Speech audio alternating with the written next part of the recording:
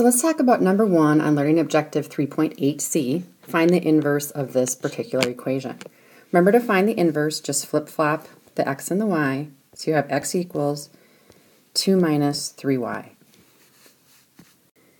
Now the only thing you have to do is isolate and get y by itself, so it means we have to move the 2 and the negative 3. So let's first move the 2 by subtracting 2 from both sides. Gives you x minus 2 equals negative 3y. Next step is to divide everything by negative 3. And I think this is the most common mistake people are making.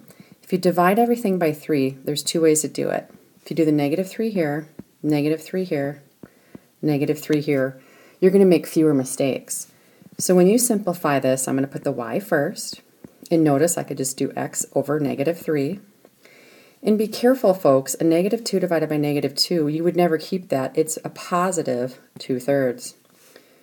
So if you do that, this right here would be an appropriate answer. There's a couple ways you could write this in Schoology. You could either write what you see on the screen. The negative could actually go with the x if you want to, because you can interchange them. This is considered in y equals mx plus b format because what you see is you see the slope first and then the y-intercept second. So this is one format of the correct answer.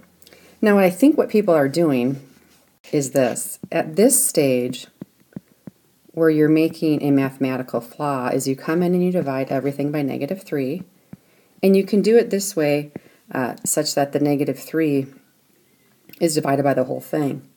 But then you have to break it up. You would have to break it up into its two components here. And when you do it that way, what you'll end up getting is one of the answers down here.